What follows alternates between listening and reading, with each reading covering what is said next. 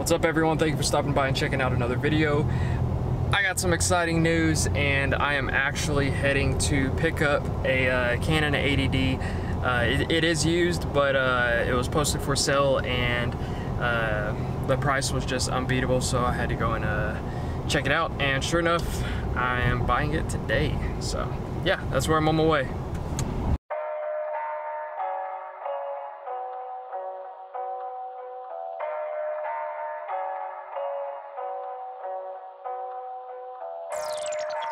All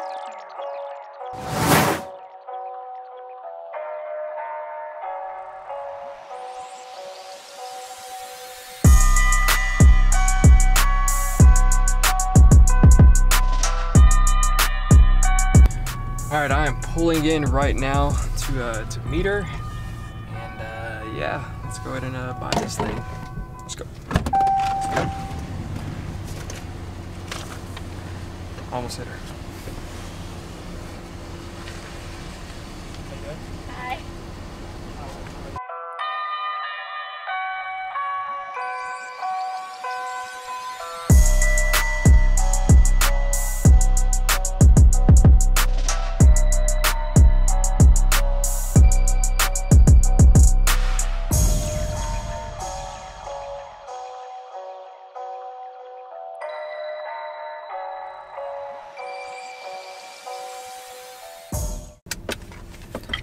Right, we got it.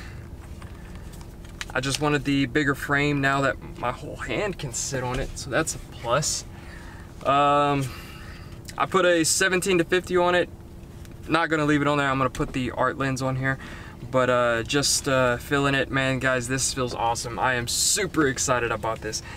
So, uh, quick uh, rundown.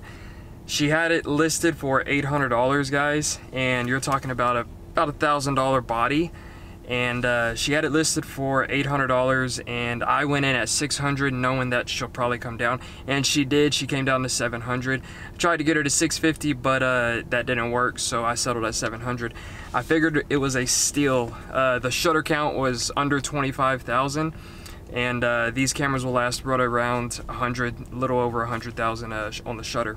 So like I said, I thought it was a steal, and uh, man, I'm I'm super excited to have it. Really, the Canon SL2 is probably going to stay my video camera, and uh, this right here is just strictly going to be for photos. So, yeah, let's go ahead and head home, and uh, yeah, we'll show it a little more. All right, so we are back inside of the office, guys, and here it is, my Canon 80D with the uh, Sigma 18 to 35 millimeter art. Uh, I've taken a couple pictures with it and it's produced some uh, really good pictures so far. Um, there's still a little tweaking. I'm going to recalibrate the uh, Sigma lens, that way I can get the focus spot on. But uh, yeah, let me tell you a few things on why uh, I guess I ultimately chose to get a new camera and not purchase another lens and that is going to be the uh, the fill of the camera. Um, the Canon SL2 has a very small grip, and whenever I would hold that one, my pinky would not uh, go on the grip. Sometimes, depending on how I held it, uh, I might even miss uh, my ring finger as well. So, the Canon 80D, however, you can see it holds my entire hand uh, and it just fits well in the in the hand. Uh, so I think uh, that's what really led me into the 80D uh, was just the the size of it. And uh, I've gone back and forth with uh, the 80D or the Canon EOS RP, which is the new mirrorless camera. And I just, I don't know, like I said, I, I wanted the size. I was looking at the RP and then I would have to buy the grip for it. Uh, which wasn't a big deal, but uh, I'm not necessarily ready to make the jump into the uh, mirrorless lineup for Canon, simply because of the lack of glass. Uh, so I stayed with the DSLR. Uh, like I said earlier, I bought this one. It has 25 under under 25,000 on the shutter, so I still have over half of the life to go, which is a a win for me if if I uh, if I'm thinking about it because I only spent seven hundred dollars on this, and uh, this can or this camera retails for uh, right around a thousand if I was to buy it brand new. And uh, yeah, I mean, to spend $700 and to still have almost 75% of the uh, life remaining, I think that's a win for me. So, uh, yeah, like I said, that's ultimately why I chose this camera. Also, another benefit is of the uh, the autofocus points on the inside.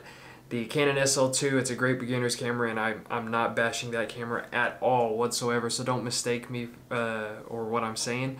Um, but it has nine autofocus points, and so when you're trying to take pictures from frame to frame, it is extremely hard uh, to, I guess, line your subjects up if you want them on the corners like that. Simply because of uh, what the Canon SL2 does is it has a diamond shape and it looks like this, like that. And so that's basically, uh, that's where your autofocus points are. Whereas the 80D has from right here on the frame to right here on the frame and it kind of makes this shape. Yeah, you get the point. But uh, how many dots it has, I'm not too sure. But uh, there's quite a few and I'm able to basically select which one I want if I want to go selective autofocus.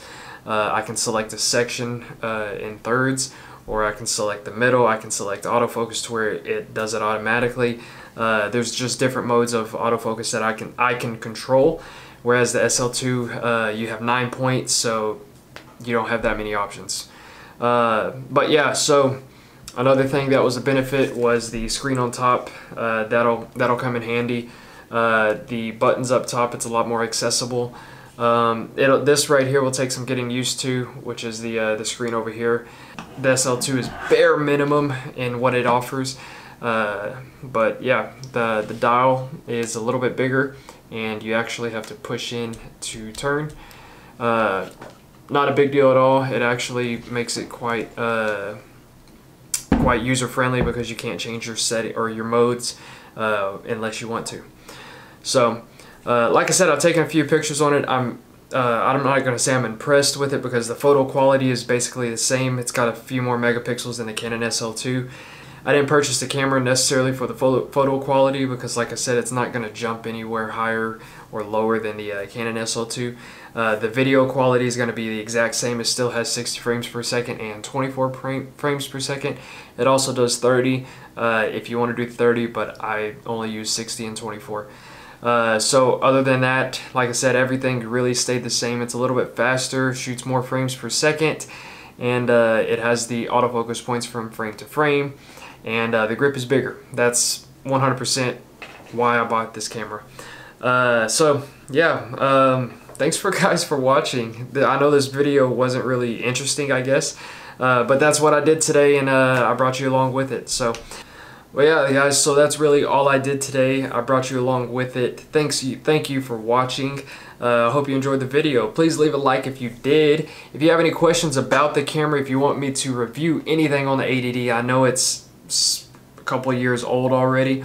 But uh, if you have any questions about it, uh, please feel free to leave that in the comment section below. Uh, yeah guys, don't forget to subscribe if you like these videos. I post a video just like this once a week. And uh, I will see you in the next one guys. See you later.